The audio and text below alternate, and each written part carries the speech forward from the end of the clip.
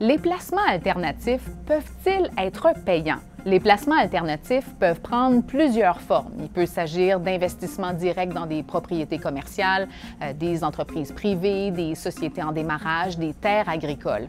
Les placements alternatifs incluent aussi des stratégies de vente à découvert ou des prêts à des sociétés privées. L'avantage de ces placements alternatifs, c'est la diversification de votre portefeuille. Ce sont des actifs qui ne se comportent pas comme les marchés boursiers. Ils peuvent générer des rendements plus élevés que les placements dans les obligations ou vous apporter plus de stabilité que les actions. Mais la vigilance s'impose parce qu'une stratégie d'investissement plus complexe, ça peut être plus risqué.